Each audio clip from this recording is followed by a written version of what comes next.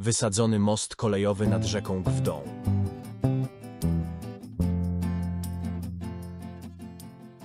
Most został zbudowany w roku 1914 na trasie pomiędzy Jastrowem a Złotowem.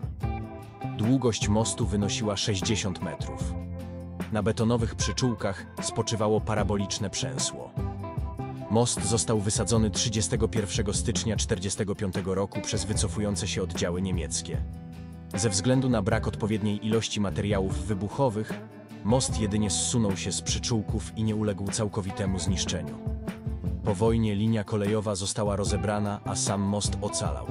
Co więcej, nie został on w późniejszym terminie, jak wiele podobnych konstrukcji, rozebrany na złom.